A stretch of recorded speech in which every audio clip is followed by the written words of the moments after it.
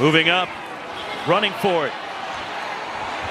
Thompson Robinson has the first down, still straddles the sideline, cuts it back.